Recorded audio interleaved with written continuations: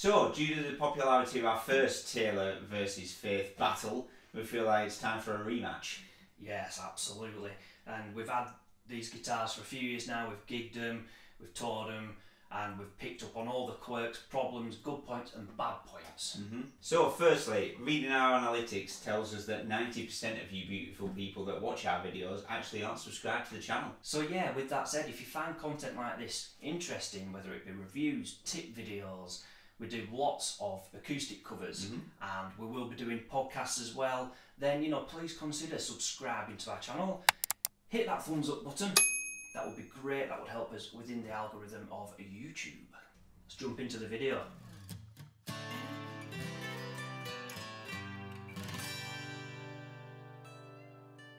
So, as working musicians, we've been together for over a decade now, playing hundreds of shows, and we've a plethora of knowledge that we can give to you guys. Absolutely, we want to use every ounce of that knowledge we have. You know, if that aids you from buying your first guitar to even recording your first album, then that's what we're here to provide. So in the last video we discussed a lot of specs with these guitars, didn't we? Yeah, we did. Comparing them together and we're not going to do that in this video. Uh, so if you do want to see us comparing the specs and just see how we reached a verdict on that, then hit this card here, that will take you to that video. But let's dive into this video, Rob. hmm So let's start off this review with the unplugged sound, because let's face it, that's the reason why you should buy an acoustic, not on its looks. No, it's a good point you make actually about the sound of a guitar being unamplified acoustically. I remember I'm a big PRS fan when it comes to playing electric guitars. Mm. And when they first brought out the first acoustic PRS, I was desperate to try it out. So, shameless plug, we went to Reidys Brilliant, brilliant music store. in, in Blackburn. Uh, I went there with my dad. He was interested in looking as well, and saw it there. Got it off the off the shelf.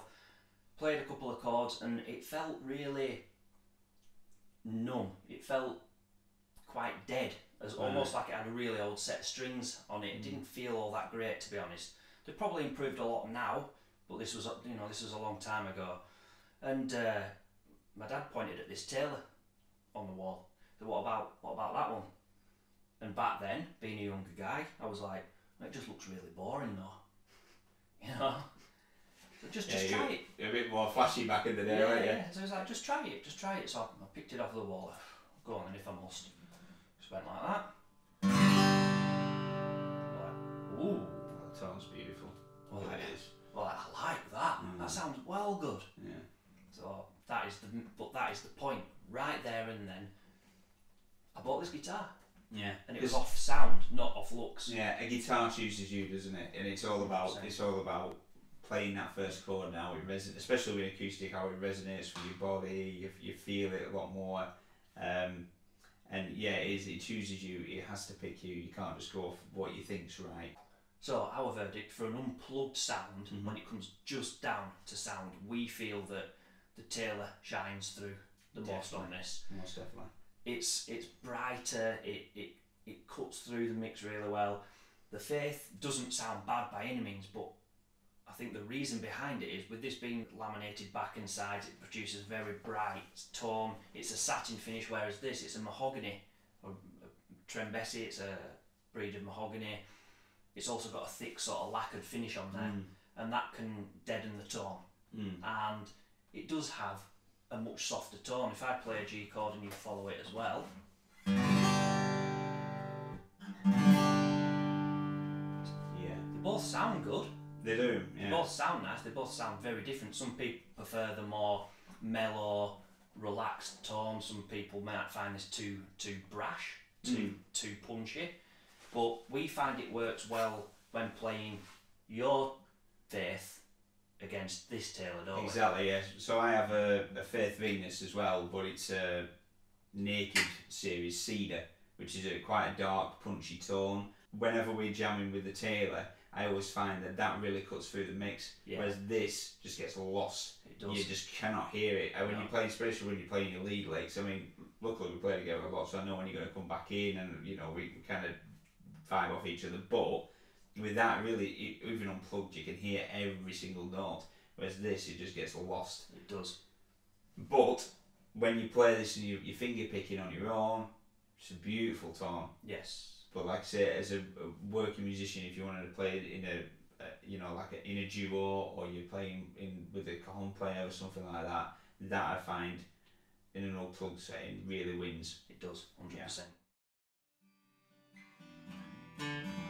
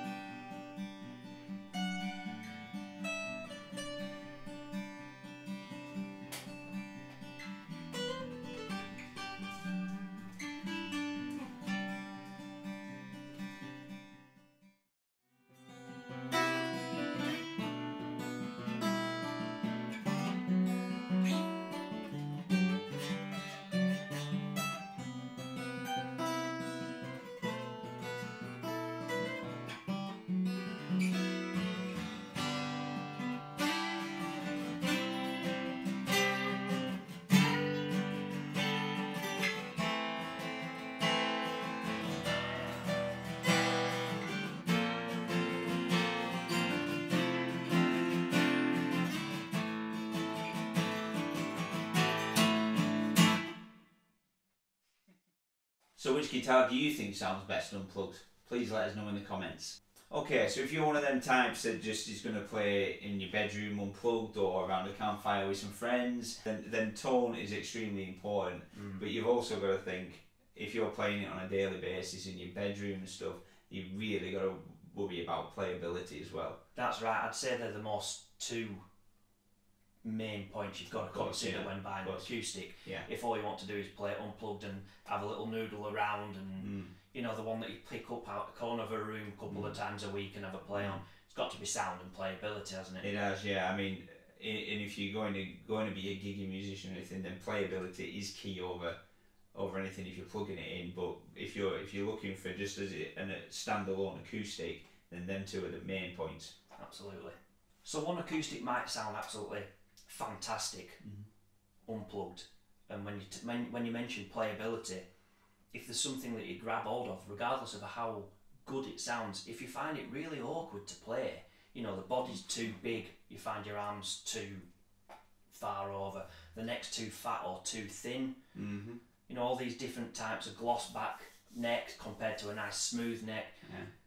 you know, you might have the best sounding guitar in the world to you, but if you really struggle to play, it's going to sound poor. Yeah. So you really need to consider playability. And with that said, we find for us personally, the Taylor is not as playable as the Faith. The Faith No. is the better guitar for us when it comes to playability. Mm. And let's quickly tell you why. For one, it's the thickness of the neck. Yeah, yeah, that is more of a thinner neck. It's more of a, like I say, it's more of a lead shredder. It, you know, like it feels more like a Stratocaster neck compared to anything really, doesn't it? It's really thin. You Yes. know, especially for an acoustic neck, it's extremely thin. But where the neck sits in your hand, it doesn't meet this part of your hand basically doesn't meet the back of the neck. Yeah. And over the course of a gig, that can become really tiresome. Mm. You, you know, especially when you're reaching for, for your bar chords and stuff. And that sounds okay, I think. But when you start trying to do, get a lot of fluff. If you don't really press down and get it right, you get a lot of that. Mm. I'm using all the full force of the tip of my thumb to press the rest of the chord down. And your thumb's extremely high up Yeah. up the, the centre of the neck as well. You're not you're not lodged into the curve. Are you? No, I mean again, sounds great, but Mm. it's just not as playable as Mm. that. That the neck of that being bigger, it fills it fills the area of the hands for Mm. me, and it it just feels more like you're resting on it rather than bridging over it, and it's Yeah. more comfortable. I feel the same. It's a beautiful, beautiful satin neck as well. It's really smooth. It plays beautiful all over the neck. The action's amazing. Um, it's yeah, it's such a nice playing guitar. Whereas you've had to kind of mod that out to get that play, you know, feeling how you wanted to do. Yeah. Yeah, there's some small bods, and again, I'll put it in the B-roll so you can see it. But what I've done is I've used some really fine sandpaper, as far as you know, some uh, metal sanding paper to get it really, really smooth on the back. It wasn't unsmooth to start with. To be fair, Mm. it was just a personal preference. I wanted that real played-in feel, uh, and there is still a little bit of setting up I want to do on this guitar to get it absolutely perfect. And, that, and what we'll do is we'll probably do a quick update video on that in future. So look out for that. Yeah. Um, but while we're talking about playability, whereas we were going in favour of the faith on feel, when it comes to playability in another aspect, especially live, when I do a lot of improvisation when we play for soloing and licks and bits and pieces, it's the lack of fret markers. Mm-hmm. Now, most people who are professional would say, well, you should be able to play with or without fret markers and, and whatnot, and I agree. However, when you're on a dark stage and all you've got on the top here is tiny little fret markers, and you need within an instant to be able to fly to a particular fret to play a little bit of lead work, you can sometimes get that wrong and it can sometimes trip you up, Mm. especially if you're playing with a capo. Yeah, I can understand your point of view on that, and that it, you know, when you're coming across, you need to just have that. It's just a point of preference, isn't it? It is. It's just Yeah. like I say. It is just a point of reference. Mm. It's just. It really is just to quickly dial in. Right, I know where I am and away you go because, you know, they're a lot easier to see. You know, if you, if you, you know as you're playing, you, you do have a I- well, I do anyway. I'm not like that. I have a slight lean Mm. and I'm playing. You can see them a lot easier than you can them, especially Yeah. like like you know we've played on some very dark stages. Mm. You know, and when the lights are shining in your eyes, sometimes it is awkward to see. Just in that, it's that split second. So we mentioned obviously the neck where we where I'd, I'd sanded it. The only other mod I have made to this guitar is the bridge pins. So they were supplied with plastic bridge pins, which is fine. Plastic or wood's fine. Uh, just just due to the age of the guitar, really. I've had it for ooh, six years maybe. Um, and due to various restringing, one of them failed. It, not very expensive, really. I'm just replaced them with something just that little bit nicer, really. The wood. Yeah. They've got like this nice abalone on them. Um, They do. a uh, cheap mod, but they just add a little bit more quality to the to the look. I think. Yeah, they definitely do. It, it looks like it. They look like they belong on the guitar as well. Yeah, It looks beautiful. it It's works. really nice. It does work. Yeah.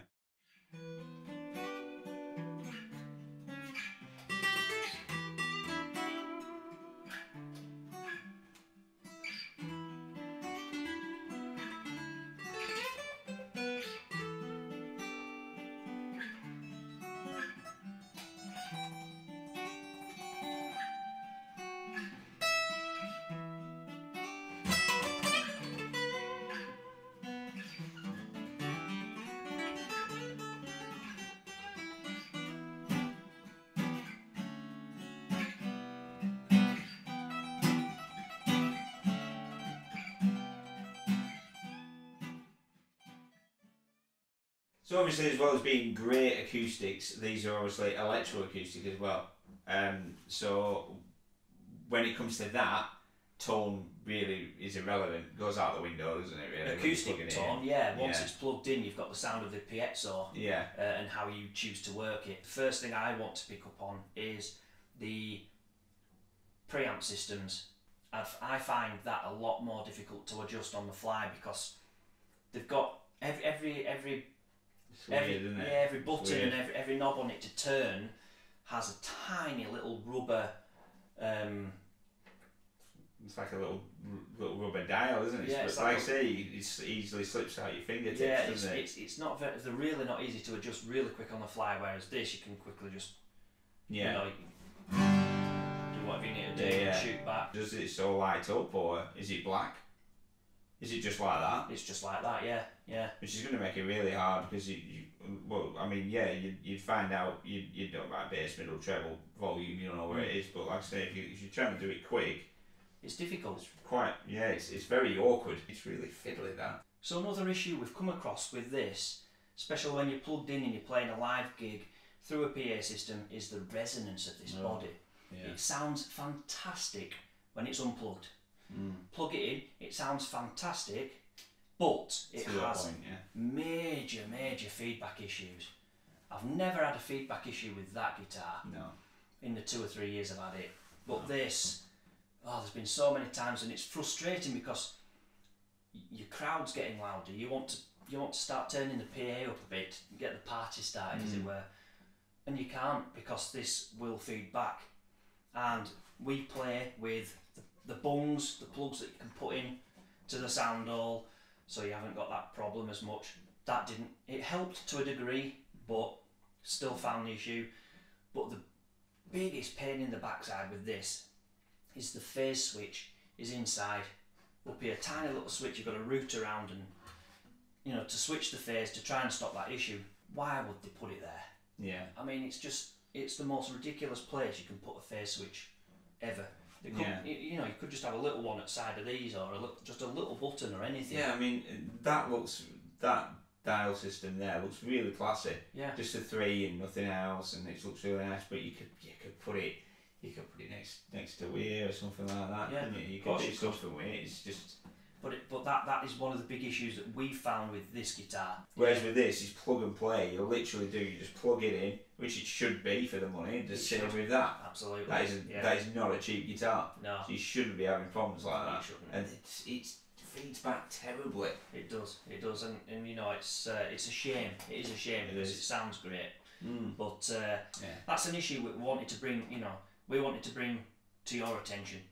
Another thing I wanted to mention actually about the body resonance is when you're playing live. We've mentioned the feedback, but there's more responsiveness from this body if you like doing bits of percussion. Mm. You know, there's Yeah, there is. that that again feels a little bit dead. It does. Yeah. You know, uh, f- for the resonance. I mean, there's a particular chord I play, uh, and it's sort of like a.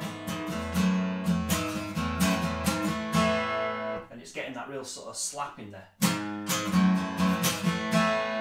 This is much more responsive. It gives you much. Sounds like a drum. Yeah, it's got more bass in it. It's got a lot more. Yeah.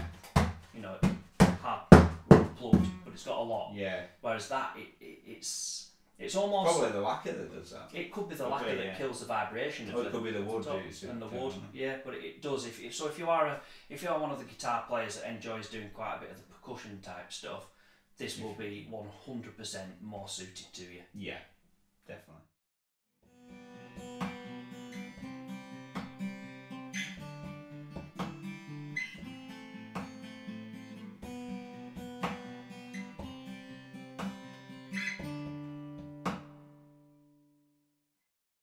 So obviously, when we started with that, you, when you got this, you had a have a gig bag for it, Yes. and there was this and my Fender, and we just had gig bags, and we didn't really have a problem with it. And then when when you upgraded to this, and I got my Faith, we uh, ended up getting beautiful Faith um, cases with it. yeah, full hard cases with them. Yeah. yeah So, Yeah. do you think there's any pros and cons that go along with that?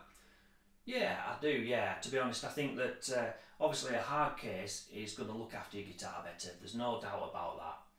That being said, though, we've had soft cases, gig bags for, like you say, your Fender, this Taylor. There's never ever been any damage come to the guitar. No, there isn't. N- nothing. The only damage that there is is through playing. Yeah. That's just that's just how it's going to work. You're going to Mm. end up, you know, having surface scratches and stuff. But there's never been any dings or bangs uh, from that. And also having gig bags. When, when you are gigging, I find them easier to pack into a car. Yeah, because you slide in the foot Slide and everything else. yeah. Exactly. Whereas a, a hard case is just quite a bit more bulky and it's heavier. But with a gig bag, you can put that on your shoulder, Mm. which which frees up a hand. You know, you could have your gig bag fully on your shoulder with your guitar on your back. You could have one hand with your amp and another hand with. PA speakers or your gig bag or something. Whereas with a hard case, you can't do that. You've got Mm. one hand, you've got you know, and it, and it, it yeah, it's pros and cons. It, you've got to weigh that up for yourself. I think. Mm. What what would you prefer? Let us know in the comments. Would you rather have a hard case or a gig bag? And more importantly, tell us why. So when it comes to the conclusion of who is the victor in this rematch, we're pretty much torn. Yeah, we're very much on the fence. We're very much 50 50. Um, this one sounds the best unplugged. Yeah, The playability on that is better. yeah. This is easier to play live. It's more forgiving live. Yes, Yeah. yeah, it's definitely an easy guitar to play with live. If you can get this right and you can fight it, and you like a guitar that fights you a little bit, this is probably a little bit more rewarding. Mm. Taking into consideration of our verdicts and whatnot, we're not going to go into the aesthetics of these, these guitars on this video, uh, where we've mentioned before about the different timbers that are used and whatnot, because really, having having mentioned sound and playability, aesthetics is completely subjective. It is. You It know, is. some people love a playing guitar, Mm. some people love a flashy guitar. So I love a playing guitar. yeah, Yeah. I, and and as I've got older, I'm starting to really really like a plain looking guitar. Mm. I am. So, in conclusion, if you can get both, get both. it's as simple as that, you know, That's because um, they're both brilliant guitars in their respective fields. They're both priced reasonably, and you wouldn't be disappointed with either. Definitely not. No, no. So that is that is basically our conclusion, isn't it? It You're not going to be disappointed with either guitar. No, they're both great. They are. Yeah. So that is our conclusion. You know, we'll let you guys fight it out in the comments. Which do you feel is the best guitar? Which do you think looks best? Which do you think sounds best? Let's see if we can find a victor because we can't pick one. Can you help us pick one? Let us know in the comments. So, if you get value out of this video, then please consider subscribing. Absolutely, smash that thumbs up like button and uh, let's try and get this video out to many more musicians just like you. And with that said, I'm Rob. I'm Phil, We're Tickety Boo. and we hope you are too.